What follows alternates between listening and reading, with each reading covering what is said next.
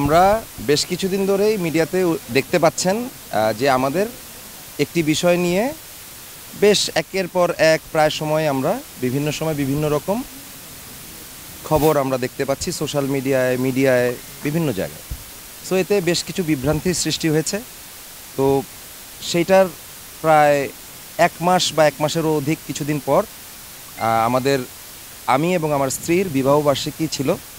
তো চ্যানেল আয়ের একটি ইন্টারভিউ আমাদের গান বাংলা টেলিভিশন প্রাঙ্গণে এসে শাহরিয়ার নাজিম জয় সাহেব নিয়েছেন, যেখানে আমার মনে হয় যে বাংলাদেশের ইতিহাসে কোনো একটি দম্পতি তাদের পারিবারিক জীবন নিয়ে এভাবে খোলামেলা, অকপটে কথা বলেছে এবং আমার স্ত্রীর প্রতি আমি কৃতজ্ঞ যে তিনি যত সুন্দর করে কথা বলেছেন, সেখানে উনি নিজে কোনটা ভুল ধারণা পোষণ করেছিলেন, কোনটা সঠিক মনে করেছিলেন, কোনটা ওনার করা ঠিক হয়েছে, কোনটা উনি মনে করেছেন ওনার করা ঠিক হয়নি এত খোলামেলা আলাপ করেছিলেন।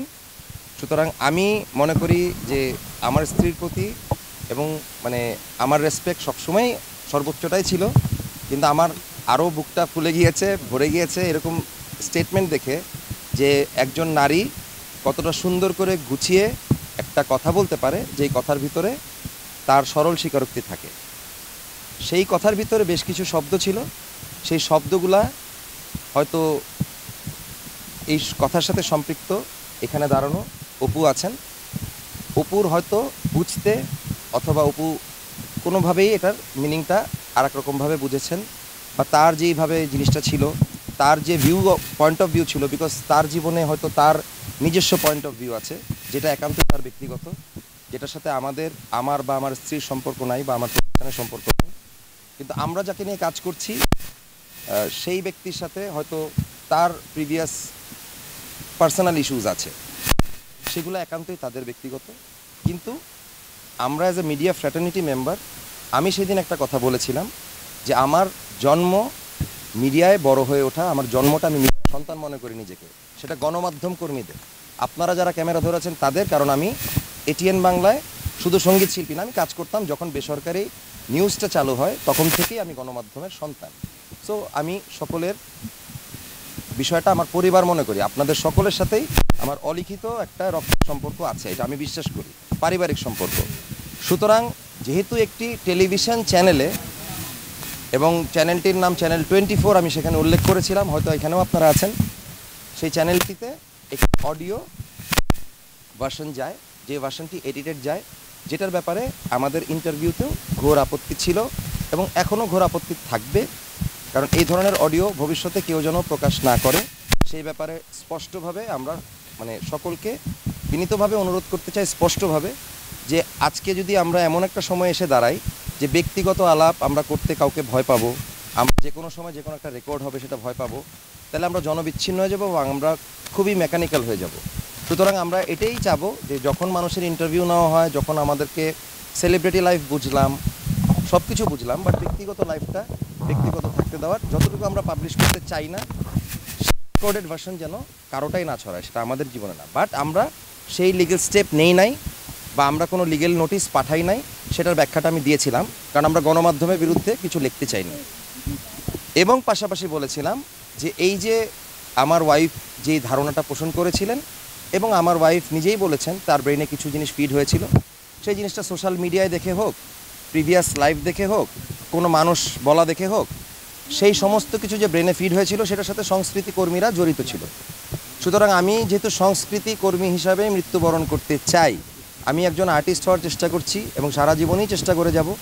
তো আমার শেষ নিঃশ্বাসটা যেন আর্টিস্ট হিসাবেই হয়, আমি মারা গেলে যেন কেউ ব্যবসায়ী না বলে, যেন বলে যে সংগীত পরিচালক অথবা সংগীত শিল্পী অথবা সঙ্গীতের মানুষ কেউ মারা গিয়েছেন।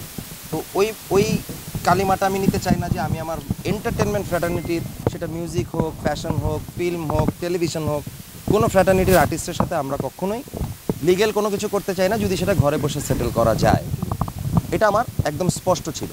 সো আমরা সেখানে অলরেডি বলেই দিয়েছিলাম যে আমরা ওখানে ওটা শেষ চাই। ডেফিনেটলি হয়তো দর্শক থাকে ফলোয়ার থাকে, অপু বিশ্বাসেরও প্রচুর ফলোয়ার আছে। আমাদেরও যার যার জায়গায় কিছু কিছু ফলোয়ার আছে, আমরা সবাই সবার ফলোয়ারকে রেসপেক্ট করি। এটার সাথে আরও যাদের নাম আছে জড়ানো, সেই নামগুলোরও ফলোয়ার আছে, সেই নামের ব্যক্তিদের ফলোয়ার আছে। প্রত্যেক ফলোয়ার টু ফলোয়ার অনেক সময় একটা ইস্যুতে এই পক্ষ, ওই পক্ষ হয়ে একটা জিনিসকে অনেক বেশি হিট বাড়িয়ে দেয়। কেউ এই, এইভাবে বুঝে, কেউ সেইভাবে বুঝে। সেই বুঝগুলা কিন্তু একটা সময় আমরাও আর্টিস্ট আমরাও মানুষ, আমরাও রক্তে মাংসের মানুষ, আমাদের ভিতরে কিছুটা প্রভাব ফেলে। হয়তো বা অপুর ভিতরেও কিছুটা প্রভাব ফেলেছে কারণ তিনিও একজন মানুষ, তিনি রক্তে মাংসের মানুষ এটা তার কথা আমি বলছি। হয়তো তিনি এরকমভাবে ভাবছেন, এরকমভাবে হয়তো বা ভিতরে আমাদের কথা হয়েছে। আমার চেয়ে ভালো সেই ব্যাখ্যাটা উপুই দিতে পারবেন, কারণ অপুর স্টেটমেন্টটা আমি দেবো না, উপরটা উপুই দিবেন।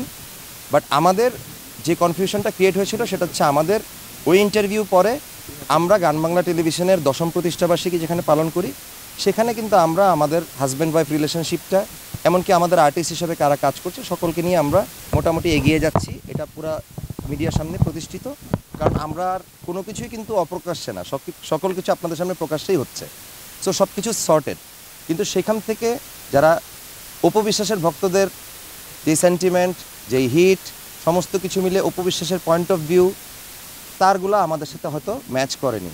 উনি হয়তো আরেকভাবে জিনিসটাকে দেখেছেন, উনিই ব্যাখ্যা দিবেন, উনি কী ভেবেছেন, উনি সেটা ভেবে যে এই ভিডিওটি দিয়েছেন সেটা আবার আমার আমার কাছে মনে হচ্ছে, ব্যক্তিগতভাবে আমি তাপস। এটা কিন্তু গান বাংলা টেলিভিশন অথবা ফারজানা মুন্নি ডিবি প্রধানের কাছে আসেন নাই। আমি আপনাদেরকে একটু ক্লিয়ার করতে চাই যে গান বাংলা টেলিভিশনের দশম প্রতিষ্ঠাবার্ষিকীতে আমরা আশা করেছিলাম যে ডিবি প্রধান হারুন সাহেব উপস্থিত থাকবেন অতিথি হিসাবে। উনি ওনার গ্রামে ছিলেন। পরের দিন যখন আমার সাথে কথা হয়, তিনি বললেন যে, আমরা গান বাংলার দশম প্রতিষ্ঠাবার্ষিকী হয়েছে। আপনি এসে এক কাপ চা খেতে পারেন বা আমার সাথে লাঞ্চ করতে পারেন। আমরা একটা ট্রিট দিই। আমি বললাম, অবশ্যই, এটা আমাদের জন্য একটা সুন্দর একটা বিষয়। কারণ আমরা হারুন ভাইকে আমরা একটা আস্থার জায়গা মনে করি। ডিবি ডিটেকটিভ ব্রাঞ্চের পুরো টিম অসাধারণ একটা আস্থার জায়গা। তারা এত সুন্দর করে যে কোনো জিনিস হ্যান্ডেল করছেন। উই ফিল ভেরি প্রাউড যে বাংলাদেশের এরকম একটি ডিটেকটিভ ব্রাঞ্চ আছে। সেই আস্থার জায়গাটা আমি এসেছি, আমাকে লাঞ্চ করিয়েছেন। কথা প্রসঙ্গে আমাদের কথা উঠেছে যে এই যে তিরিশ, চল্লিশ, পঞ্চাশ দিন হয়ে যাচ্ছে, আমাদের একটা জিনিস চলছে, এটা তো সবাই দেখতে পাচ্ছেন। ওনার কি কোনো কিছু করার আছে কিনা? তখন আমি বললাম যে, চাইলে আপনি আমাকে সহযোগিতা করতে পারেন। এবং উনি অবশ্যই বললেন যে, আমার সহযোগিতার হাত আমি বাড়িয়ে দিতে চাই। উনি অনেক বেশি কোঅপারেটিভ উনি অনেক বেশি হেল্পফুল এবং উনি নিজের থেকে যখন বললেন, তখন আমি এখানে একটি কমপ্লেন ব্যক্তি তাপস হিসাবে করলাম এবং আপনাদের কাছে স্পষ্ট করে বলতে চাই, আমি উপবিশ্বাসের নামে কোনো কমপ্লেন ফাইল করি নাই। আমি স্পষ্টভাবে বলেছি যে, ওই কল রেকর্ডটি কীভাবে ফাঁস হলো, কেন ফাঁস হলো অথবা পরবর্তীতে আমাদের কোনো প্রাইভেট কনভারসেশন কার সাথে যেটাই হোক, আমি কোনো নাম উল্লেখ করি নাই। হয়ে থাকলে সেটার ব্যাপারে আইনানুক সহযোগিতা আমি আশা করি বা তদন্ত আশা করি।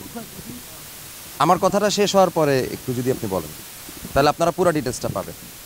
সেই তদন্তটা আমি রেখে গিয়েছি পরশুদিন আমাকে কল করা হয়েছে যে আজকে আমি এবং অপু বিশ্বাস যেন একসাথে বসি, চা খাই কফি আমরা কফি খেলাম এবং আমরা অত্যন্ত সৌহার্দ্যপূর্ণ সম্পর্কের ভিতর দিয়ে, কারণ হারুন সাহেব এমন একজন ব্যক্তিত্ব, এত- সুন্দর করে উনি আমাদের দুইজনকে আইনের ব্যাপারটা বুঝিয়ে দিলেন।